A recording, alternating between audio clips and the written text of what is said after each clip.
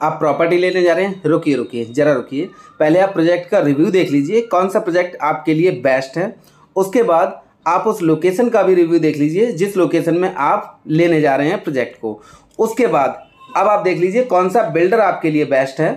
ये सब आप देख सकते हैं real estate reviews YouTube channel पर। नमस्कार दोस्तों, आज हम रिव्यू करने वाले हैं एम थ्री एम ग्रुप पर। नोएडा में जो इन्होंने प्लॉट लिया था, उसके अगेंस्ट ग्रेटर नोएडा अथॉरिटी के सीईओ ने एक इल्ज़ाम लगाया है कि इन्होंने 200 करोड़ रुपए का चूना लगा दिया एम थ्री एम बिल्डर ने ग्रेटर नोएडा अथॉरिटी को। तो इसमें कितनी सत्यता है इसके बारे में जानते हैं दोस्तों। तो शुरुआत करते हैं वीडियो का। एम थ्री एम बिल्डर जो कि गुड़गांव में बहुत बड़े, अच्छे बिल्डर हैं और बहुत बहुत ही अच्छे अच्छे प्रोजेक्ट डिलीवर भी कर चुके हैं। 2022 में इन्होंने नोएडा के रियल एस्टेट मार्केट में एंट्री की और तीन लैंड पार्सल खरीदे, जिसमें से एक लैंड इंडिया बोल से ऑक्शन में खरीदी। सेक्टर 128 नोएडा में। टोटल लैंड एरिया है 73 एकड़ का। अब इस लैंड की क्या कहानी है, ये मैं आपको बताता हूँ। ये ज़मीन यमुना एक्सप्रेस वे बनाने के लिए यमुना अथॉरिटी ने उत्तर प्रदेश सरकार और जेपी बिल्डर के बीच में जो करार किया गया, उसके अकॉर्डिंग लैंड फॉर डेवलपमेंट के अकॉर्डिंग ये ज़मीन जेपी ग्रुप को दी गई कि इन्होंने डेवलपमेंट किया था रोड का इसलिए। बदले में ये ज़मीन जेपी ग्रुप को अलॉट की गई। जेपी ग्रुप ने इस ज़मीन को कदम ग्रुप को सेल कर दी, जिसकी इंफॉर्मेशन यमुना अथॉरिटी को है। कदम ग्रुप सिप्रा ग्रुप की ही कंपनी नया मोड़ आया तब, जब कदम ग्रुप ने इस लैंड को मॉर्गेज करके लोन ले लिया इंडिया बुल से। या हम ये कहें कि सिप्रा ग्रुप ने अपने इस लैंड को मॉर्गेज करके लोन ले लिया।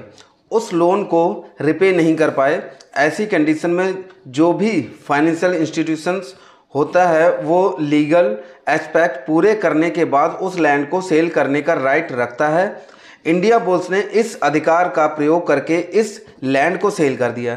ये है पूरी कहानी जो न्यूज़पेपर में आ रही है। अब आखिर यमुना अथॉरिटी को क्यों हुई प्रॉब्लम अब हम इसके बारे में बात करते हैं। तो दोस्तों, यमुना अथॉरिटी का कहना है कि ये एक फ्रॉड डील की गई है अथॉरिटी से छुपाकर। इसमें अथॉरिटी को टीएम चार्ज के रूप में एक बड़ा अमाउंट मिलता, जो नहीं मिला। यमुना अथॉरिटी 200 करोड़ क्लेम कर रही है कि 200 करोड़ टीएम चार्ज का अथॉरिटी को एम ग्रुप ने चूना लगा दिया। अथॉरिटी का ये भी कहना है कि बिना रेरा नंबर आए और लेआउट पास कराए एम ग्रुप ने प्रोजेक्ट सेल करना शुरू कर दिया।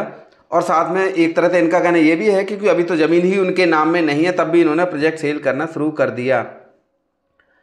और नक्शा इसके लिए यमुना अथॉरिटी के सीईओ ने नोएडा अथॉरिटी के लिए एक पत्र लिखा है, उसमें कहा है कि नक्शा पास इस प्रोजेक्ट के ना करें। ये तो हुई यमुना अथॉरिटी की बात। अब हम बात करते हैं कदम ग्रुप या सिप्रा ग्रुप को। क्या समस्या है? कदम ग्रुप ने एम थ्री एम और इंडिया बुल्स के अगेंस्ट 9 अप्रैल को एफआईआर दर्ज की है। अब बात करते हैं सही और गलत की। आखिर इस न्यूज़ के पीछे सत्य क्या छुपाया जा रहा है? सबसे पहले बात करते हैं यमुना अथॉरिटी की। यमुना अथॉरिटी की अकॉर्डिंग टीएम नहीं कराया गया, जिसकी वजह से अथॉरिटी को 200 करोड़ रुपए का घाटा हुआ।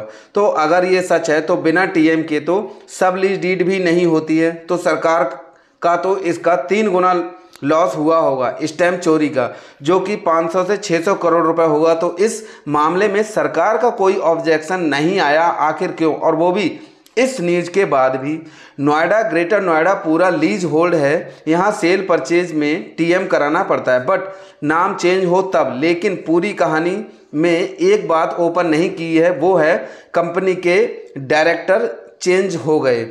कदम ग्रुप कंपनी में ऑनरशिप चेंज हो गई साइनिंग अथॉरिटी चेंज हो गई। लैंड आज भी कदम ग्रुप के नाम पर ही होगी। पेपर्स में अगर लैंड कदम ग्रुप के नाम से ही है तो फिर टीएम की ज़रूरत ही नहीं रहेगी, ना ही उसकी ऑनरशिप चेंज हुई। एक्चुअल में सिर्फ़ कंपनी की ऑनरशिप चेंज हुई है। इसलिए टीएम की ज़रूरत ही नहीं है और ना ही सबली डीड की ज़रूरत है। तो ना टीएम चार्ज की चोरी हुई और ना ही स्टैम्प ड्यूटी की। ये सिर्फ़ एम थ्री एम की स्पीड को कम करने की साजिश और कुछ भी नहीं है। एक बात सच है अथॉरिटी के सीईओ अरुणवीर सिंह ने कहा कि प्राधिकरण को चेंज इन कॉन्स्टिट्यूशन और चेंज इन शेयर होल्डिंग की सूचना प्राधिकरण को नहीं दी गई। ये एम थ्री एम ग्रुप की गलती है। उनको अथॉरिटी को इन्फॉर्मेशन देनी चाहिए थी। इस गलती का जुर्माना और शेयर होल्डिंग के चार्जेस की कंडीशन में जो भी चार्जेस बनते हैं अथॉरिटी को देने के, वो एम थ्री एम ग्रुप को देने चाहिए और विद लेट चार्जेस अथॉरिटी को जमा कर देना चाहिए। अब बात करते हैं कि बिना रेरा अप्रूवल के प्रोजेक्ट सेल करने की। एम थ्री एम ग्रुप ने नोएडा की मार्केट में एंट्री की है तो एम थ्री एम ग्रुप सिर्फ़ अपनी मार्केटिंग और प्रमोशन कर रहा है और ये भी पॉसिबल है कि सेल भी कर रहा हो, परंतु ओपनली सेल नहीं कर सकते हैं। बिना प्रोजेक्ट के नाम के ब्रांडिंग और प्रमोशन किया जा सकता है। ये लीगल है और ऑथेंटिकेट भी है। इसमें कोई भी धोखाधड़ी नहीं है तो ये भी बेबुनियादी बातें हैं। हाँ अगर सेल कर रहे हैं, ये साबित हो जाता तो इलीगल काम कर रहे हैं।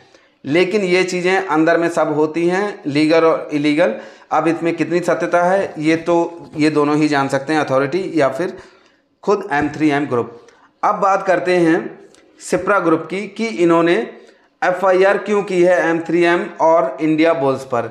एक लैंड सिप्रा ने इंडिया बुल्स को मॉर्गेज के लिए दी टर्म्स एंड कंडीशन भी होंगी।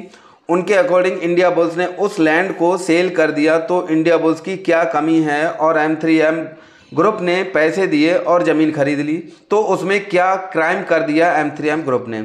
जिसके लिए एफ़ आई आर की जा रही है सिप्रा ग्रुप की तरफ़ से। और इसके बाद ज़मीन नोएडा में है। सबसे बड़ी बात जो है वो ये कि ज़मीन नोएडा में है और एफ़ आई आर इंदिरापुरम में की जा रही है। एन एच ट्वेंटी फोर पर अगर इंदिरापुरम से गाजियाबाद जाते हुए अगर हिंडन के पुल पर अगर कोई वारदात हो जाती है, चाहे एक्सीडेंट ही क्यों ना हो तो नोएडा पुलिस कहती है, एफआईआर गाजियाबाद में होगी। और गाजियाबाद पुलिस कहती है, एफआईआर नोएडा में होगी। चाहे वहाँ पर पेशेंट मर रहा हो, जिसके चोट लगी है, या कोई और समस्या में आदमी परेशानी में जूझ रहा हो, वहाँ एफआईआर कौन से थाने में होगी, वो ये दोनों पुलिस डिसाइड करती हैं। और यहाँ पर नोएडा की ज़मीन को लेकर के इंदिरापुरम में एफआईआर दर्ज की जाती है। और कितने इजीली की जाती है और बाकायदा न्यूज़ में भी ये सब चल रहा है और किसी को कोई भी ऑब्जेक्शन नहीं है, किसी को कोई परेशानी नहीं है इससे। बट यहाँ पर नोएडा की ज़मीन पर कब्जा और गाजियाबाद में एफआईआर दर्ज की जाती है। आखिर क्यों? क्योंकि क्या कहो, कहना शायद ओपनली ठीक नहीं है। सभी तथ्यों को देखकर ये लगता है कि ज़बरदस्ती एन थ्री एम ग्रुप पर किसी मोटिव के तहत जो कि छुपा हुआ है, ये सारी कार्रवाई की जा रही है, सब बनावटी है और कुछ भी नहीं है इसके अलावा, तथ्य में कुछ भी नहीं है। दोस्तों, अगर आपको मेरी वीडियो अच्छी लगी हो तो इसे लाइक करना और कमेंट्स करके ज़रूर बताना कि आपको वीडियो कैसी लगी, ये इन्फॉर्मेशन आपको कैसी लगी। और ऐसी इन्फॉर्मेटिव वीडियो देखने के लिए और प्रॉपर्टी प्रोजेक्ट या लोकेशन का रिव्यू देखने के लिए आप सब्सक्राइब कर सकते हैं मेरे चैनल रियल एस्टेट रिव्यूज़ को और इसको शेयर भी आगे करें ताकि और भी लोग इस जानकारी को देख सकें। और समझ सकें। Thank you thank you very much for watching my video